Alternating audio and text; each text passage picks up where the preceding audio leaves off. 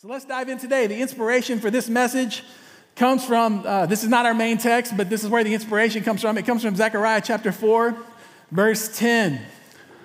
And this message today uh, that I feel like God has asked me to deliver to you is called uh, the Day of Small Things.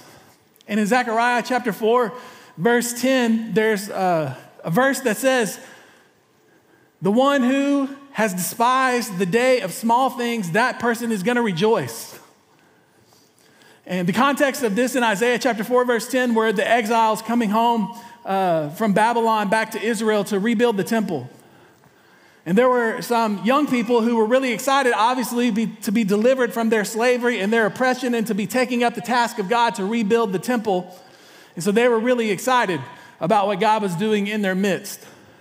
There were some older people, though, that were familiar, whether they themselves had seen it or by story, they were familiar with the glory of the former temple that had been destroyed, and they were not that excited about what God was doing in their midst. They felt like it was too slow and too small, and that's where that scripture comes to us in Zechariah chapter 4, verse 10 Whoever has despised the day of small things will rejoice. We are often the kind of people who despise the small things. Austin actually talked about this a couple of weeks ago. He talked about how God often his work starts small and slow, and he works patiently. And so, this scripture about despising the day of small things and the person who does that rejoicing, it's actually a few things to us today. Number one, it's a warning don't be the kind of person who despises the day of small things, which is also the title of my message. So, don't be the kind of person who despises my message today. It's a warning. If you are the kind of person who misses the small things, you're going to miss out on some really important things that God is doing. It's also a really vivid picture of the steadfast love of the Lord. Whoever despises the day of small things shall rejoice. So there were some people who despised the day of small things, but their um, disposition toward the small activity of God was not an obstruction to Him moving in their midst for their good. That's a beautiful thing. That's called grace around here. In the Old Testament, that's called steadfast love. Uh, my family, during Advent, we've been reading the Jesus Storybook Bible, which talks about steadfast love a lot. Maybe you've been reading the Jesus Storybook Bible too, and that's awesome. Anybody read the Jesus Storybook Bible?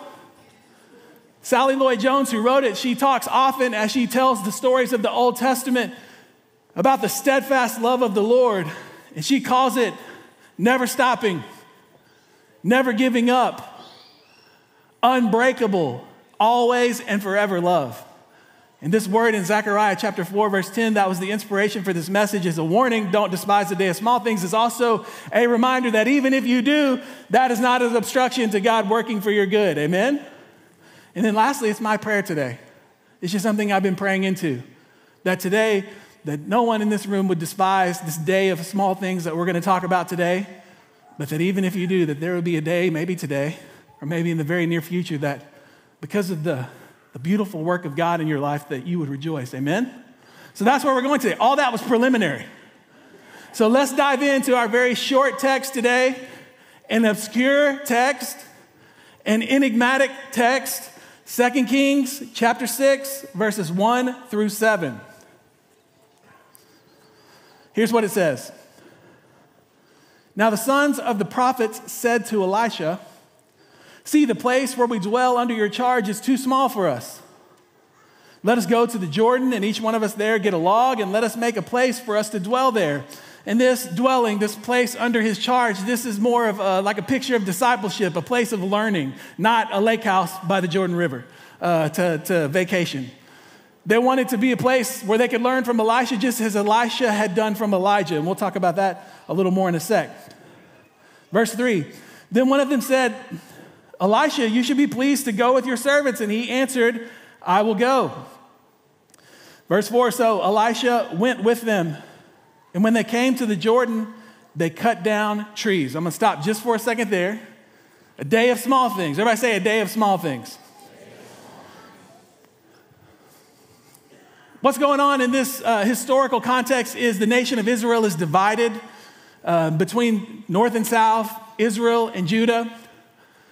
The kingdom divided over um, idolatry, basically, in the north especially, but the south was not immune from that.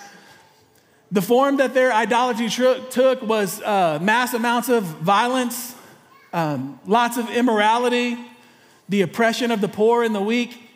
And for all these reasons, the kingdom of Israel, divided north and south, Israel and Judah, is in turmoil during this time. At the micro level, we have this character introduced to us named Elisha. And some of you may remember that he was the apprentice, the protege, the disciple of Elijah. So don't be confused. There was Elijah who preceded Elisha. And among the many things that we could say at the end of Elijah's life, Elisha, having walked with him for a bit, saw so much of the power of God in Elijah's life that he asked Elijah that he would be able to receive a double portion of the blessing that rested upon Elijah. You might remember this story if you're familiar with the story of the Old Testament. And so it happened that there was a day Elijah had told Elisha, Hey, if you're here on the day of my departure, then you will indeed receive the double portion. And you might remember that Elijah was carried up into the heavens by a chariot of fire. And indeed, Elisha had stuck with him on that day, and Elisha received a double portion of the blessing that was upon Elijah. And even if you count the miracles that Elijah did, Elisha actually did two times the amount of miracles by count that Elisha had done or Elijah had done. And today, the story of Elisha, this little story that we have, this obscure, enigmatic story, is one of the miracles that Elisha did, if that makes sense. We also have the school of the prophets. And among uh, many things that we would say, again, this is a, a company of people trying to learn the ways of Yahweh, particularly the ways of the prophet from Elisha. And all that I'll say about them is just that they were basically hated by the kings of Israel because they were calling out their idolatry, violence, immorality, oppression. So they were hated by most of the kings. They were hated by foreign nations because of God's activity. And we see that in the story that follows this story. And because the kings despised them, they stirred up animosity toward the prophets among the people. And so a lot of the people despised the prophets. And so the one thing that we want to say about the school of the prophets is they were just a marginalized community. And that's very clear as you read through this story. Um, there were many of them, there was very few of them. A lot of times they were alone and they were very much looked down upon and in some cases killed and persecuted. And so this is all the characters that we have in the story. This is a little of the context that's going on around this story. So let's keep reading in verse 5. But as one was felling a log, everybody say felling a log, that's a great term. As one was felling a log, his axe head fell into the water. Uh oh. And he cried out, Alas, my master, it was borrowed. Then the man of God said, Where did it fall? When he showed him the place, he cut off a stick and threw it in there and made the iron float. And he said, Take it up. So he reached out his hand and he took the axe head up. A day of small things. Everybody say a day of small things. This is not the most famous story in the Bible, you may have noticed. How many of you have never heard this story before? Did not know that this was a story that actually existed. Awesome. This day is for you. A day of small things. There were three things that I felt strongly that the Lord wanted me to, to share with you from this story today. Here's the first one God cares about you in the everyday stuff of your life. God cares deeply about you in the everyday stuff of your life. Say, well, how do you know? Well, this story is a great example of that. First of all, this story, one of the beautiful things about it is it's sandwiched between two other stories that seem way more important, and that's kind of the point. The story that precedes this story is a story about a, a famous general named Naaman. And I referenced the Jesus Storybook Bible earlier, but in the Jesus Storybook Bible, we were just reading with my family during Advent the story of Naaman this mighty general who was afflicted with a disease that we think was leprosy. And in his story, he has this Israelite servant girl, a girl who we don't know for sure, but her family was very likely killed, potentially by Naaman's army. And she was taken from her home to be a slave in his house.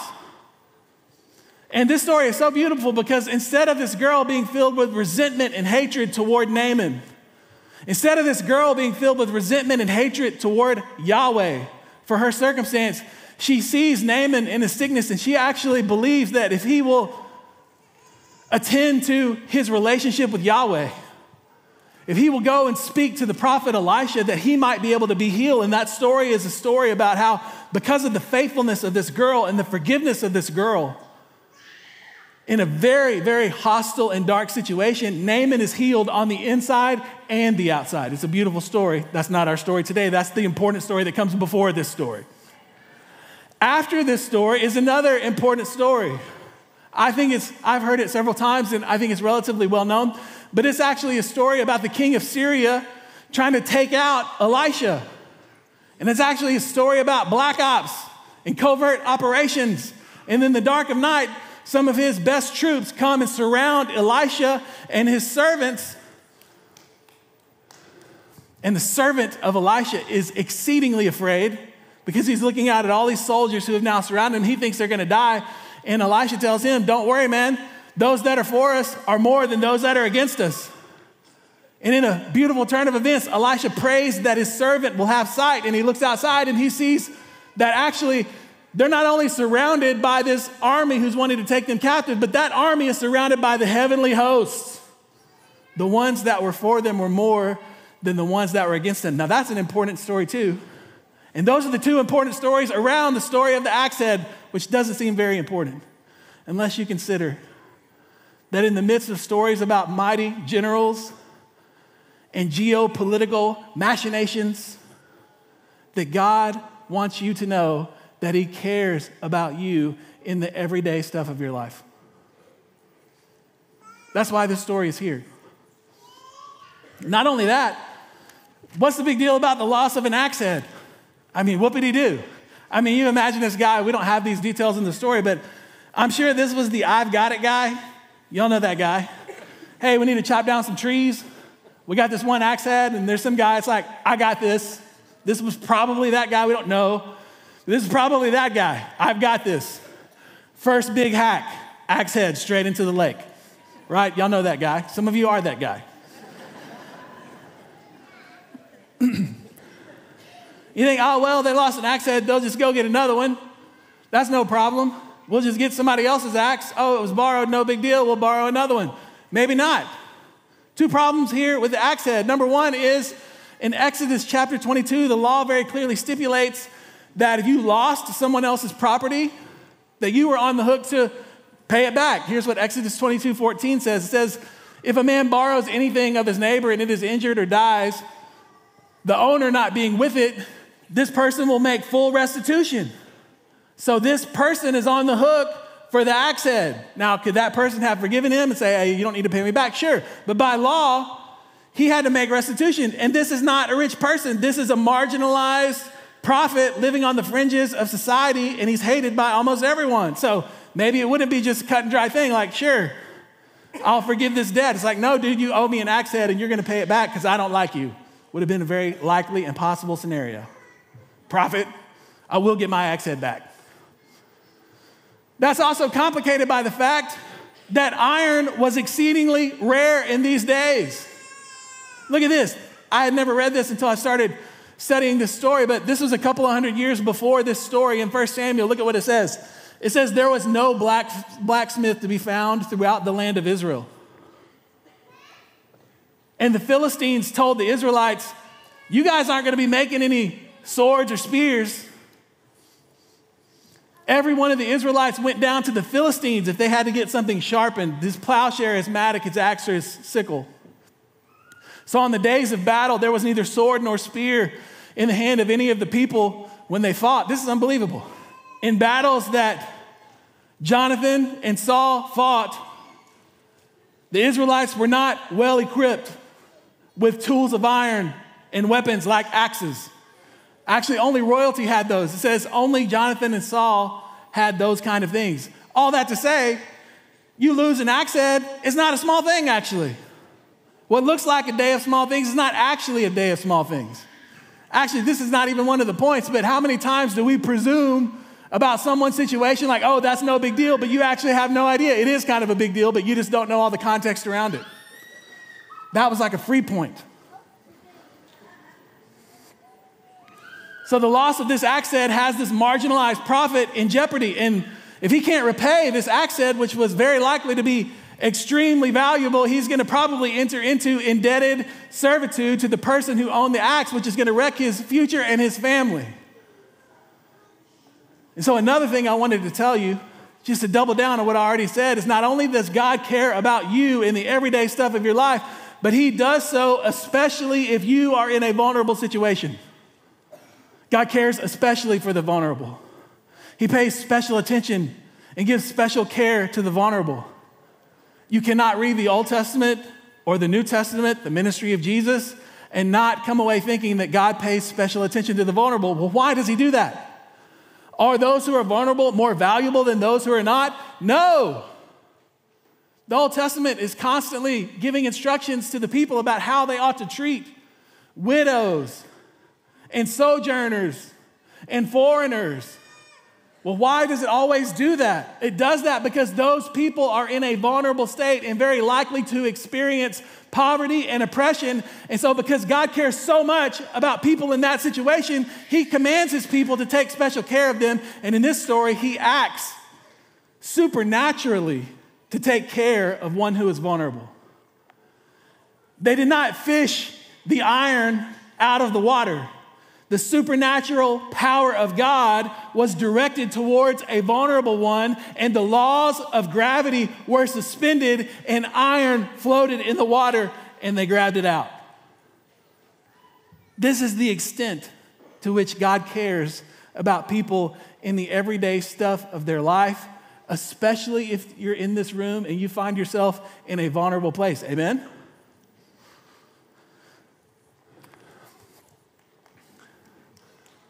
I hear that applause.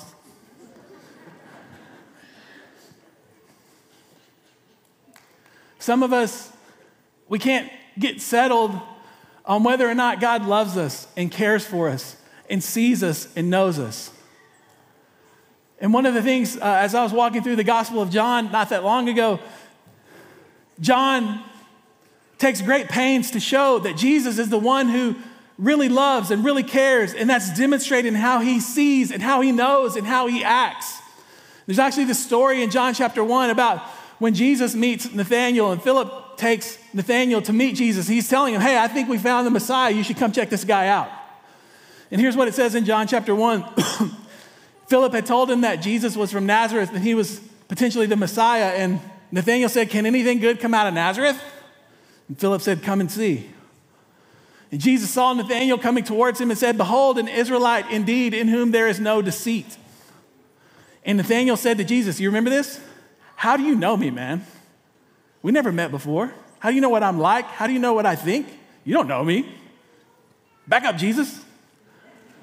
Jesus answered him, Listen to this. Before Philip called you, I saw you under the fig tree.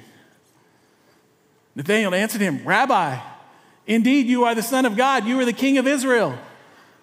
And Jesus answered him, Because I said to you, I saw you under the fig tree, do you believe? You will see greater things than these.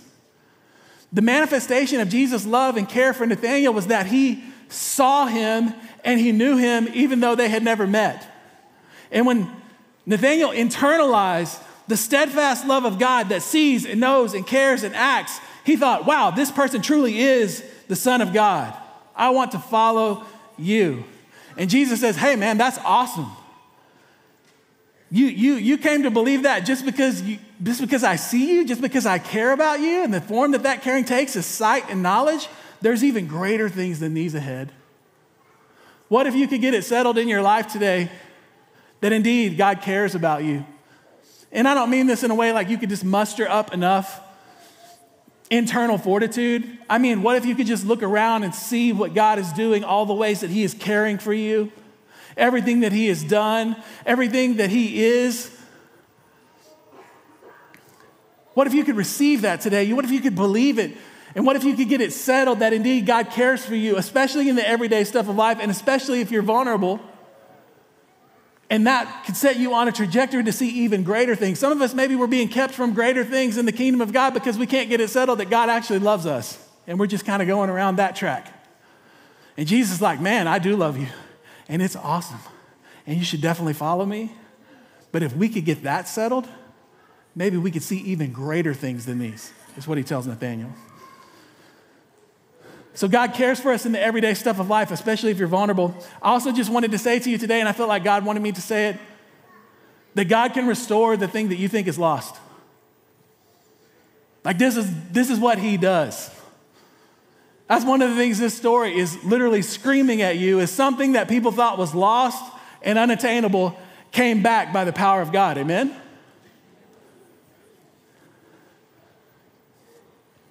Is God, are there things that you can't have today? Probably. A lot of things. Are there things that you might never get back on this side of heaven? Probably. But there is a lot of other things that you can have back that God wants to give you back, that He wants to direct the full power and resources of heaven toward you to give you back that which was lost. You can have what was lost restored. There's a bunch of people sitting in this room that if we ask, hey, have you ever had the Lord supernaturally restore something that you thought was lost? People be raising their hands all over this room. It's because God loves to restore that which was lost. That's one of the things this story is just reminding you of today is don't be a person who doubts that that thing that you lost can't come back today. Somebody is sitting in this room and you've been doubting. You think it can't come back. That relationship is never coming back. The passion and the love and the romance in this marriage is never coming back. This financial situation is never coming back. God has the power to restore that which you have lost. And that's just what this story is. I'm just like telling you what this says. I'm just reminding you of what God would want you to hear today and believe today. Is He going to restore everything that you've lost now? No. Everything is not yet fulfilled, but one day He will. Sickness and death will be no more. Every tear will be wiped away. And everything that we have lost will be restored. And until that day, it's not just like waiting around. It's not a zero sum proposition where we get nothing now and we get everything later. It's like, no, we pray for the kingdom of God to come on earth as it is in heaven now. Amen? Amen. I'm just thinking about Joel chapter 2, my namesake. I was named after Joel, the minor prophet. Joel chapter 2, verse 25. He will restore to you the years that the locust has stolen, is ringing in my ears. Psalm chapter 27, verse 13, where David says, I would have despaired unless I believed I was going to see the goodness of God not in the great hereafter, in the land of the living. He can restore what you've lost. And so, lastly, got one more thing. Can y'all handle one more thing? It's going great. This one, maybe it's for you. I hope it's for you. It probably should be for you, but I'm 100% sure it's for me. This was the thing that God was telling me as I was reading this story as I was reading the stories around this story, as I was thinking about this day of small things, and I was thinking about heading into 2024, this was the thing that I couldn't get out of my heart that I felt God was saying to me. And so I'm going to share it with you. Maybe it's for you. I hope it's for you, but I'm sure it's for me. And that's this. Not only does this story communicate that God cares for us in the everyday stuff of life, especially in the small things, not only is it a reminder that indeed God has, has the power to restore the things that you've lost?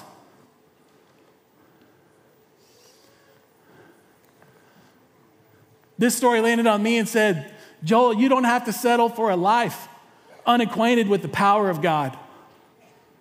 I was reading all of these stories about Elisha, and the thing that I was thinking was in Elisha's life, the things that seemed impossible became kind of routine. And it was just making me think the Jesus people, the people of God, do not have to settle for lives unacquainted with the power of God. And we ought not do that. The same power that raised Jesus from the dead is at work in you. As we've said, we pray for the kingdom of God to come on earth as it is in heaven. You say, oh, well, this is an Old Testament story. I mean, that's kind of like what God did back then. It's just not really like that now. I mean, there aren't any Elishas walking around now. And it's like, dude, have you read the New Testament? Have you read the book of Acts? I don't even have time to really tell you this, but in Acts chapter 14, stuff was going on among the people at the hands of Paul and Barnabas, and they thought Paul and Barnabas were literal gods. They said, Zeus and Hermes have come down among us because the power of God was so present in their ministry. You don't have to settle for a life unacquainted with the power of God. That's what all these stories are reminding and screaming at me as I read and think about this text. So, last thing. A couple weeks ago, Austin talked about his love of trees. Anybody remember that? He was talking about, like, at his present age, he's really come to appreciate trees. And that's nice. Trees are nice. I like trees. Trees have provided a lot of shade in my life, so I don't want to throw any shade back at the trees. However, when you become a man of a certain age, you can graduate from trees to birds. you don't even know how much I love birds. If I had a mind, I would pull up my phone right now and pull out a text that I sent to my wife just nary a few days ago. It's a list of birds that were in my backyard that day downy woodpecker, golden fronted woodpecker, blue jays, cardinals, sparrows, brown headed cowbirds, Harris hawk, slate colored junco that came all, I've been waiting on that slate colored junco. I kept telling Carrie, like, hey, the juncos haven't been here yet. They come all the way from Canada. I don't know if it's because it hasn't been freezing here yet, but guess what? Last week, he was there. I love birds. I brought a picture of a bird for you today that I really love. Check this out. I heard it. Somebody knows what it is. Who said that? My man. Crested caracara. We can just call him Cece. Look at all of his beauty and glory. He's amazing. In fact, you're really lucky. Most of the people in the United States don't get to see him. This is about as far north as he comes. We used to live in Corpus Christi. I used to see CCs all the time, crested caracaras, all the time. Check him out. He's got some nice, sharp talons, right? Those talons are not, no, not a joke. They were not no joke. I mean, I'm from East Texas. That's what we say. It's not no joke. It'll scratch you. I can take down some prey. He's got a nice sharp beak, can tear into some flesh when needed. Now, if you want to see a crested caracara, and my man right here probably already knows this, it's not going to be where you think. I mean, this guy has all the features of a hawk, and actually, technically, he is a falcon. So he has features of a hawk. He's technically a falcon. By the way, the fastest animal in the world is a falcon, peregrine falcon. Check it out. This is one of those types of falcon. If I was going out hawk hunting or falcon hunting, I'd be looking in the skies. In fact, I just told you I saw a Harris hawk in my backyard the other day. And guess how I knew it was a hawk was coming? All the doves, like 20 doves, boom, scattered about. And I knew a hawk was coming. So I looked to the skies, and sure enough, zooming over my roof, a hawk. But if you want to see a crested caracara, you're not going to look where hawks are. Because even though this dude has all the tools of a hawk and is technically a falcon, he lives like a buzzard. If you want to see a crested caracara, just look on the side of the road somewhere where there's a dead armadillo or a possum or a squirrel that got ran over. Because you might find our crested friend there. And I've always thought that this story about this particular bird that I truly do love was like a little parable about living below the giftings that we've been given. And so many of us, even though, I mean, the scripture says that we've been given everything for life and godliness, as we've said a couple of times, the very power of God that raised Jesus from the dead is at work within the Jesus people. We tend to settle for lives that are unacquainted with the power of God. And this story is just reminding us today that it doesn't have to be that way. Amen? So I hope that you carry these things into 2024. I hope that you see some greater things in 2024 because you get settled in your heart and in your mind that God cares for you in the shape and the form that His care takes is seeing you and knowing you and providing for you, especially if you're vulnerable. I pray that you have faith, even if it's the size of a mustard seed, or because of God's steadfast love, even if you don't have faith today, it's not going to stop God working for your good. We already said that. So I hope you have faith the size of a mustard seed, but even if you don't, that's not going to stop God from working for good. But I hope that you believe that God can restore some things that you feel like were lost. And I hope that in 2024 you resolve that I'm not going to live a life unacquainted with the power of God. Amen? So let's pray. Father, thank you for our time together today. Thank you for this little story. Hopefully, that serves as a vivid reminder of how much you love us, even in the small things. In a day of wars, in Europe, in the Middle East, big geopolitical movement. You care deeply about those things, but you also care about the little things in our lives. And I pray that this story would remind us of that. I pray that in this room, that you would put a new song in some people's heart, a song of restoration. That you would give them back the things that they think were lost, and that they will sing that song, and that many people would see and fear and put their trust in the Lord. And I pray that we would not settle for lives unacquainted with your power, and that we would use the tools and the resources, the gifts, the people, all of the things that you've given us, so that we could experience abundant life, life to the fullest, the kingdom of God on earth here as it is in heaven. Would you do these things by the power of your Spirit and in Jesus' name? Amen.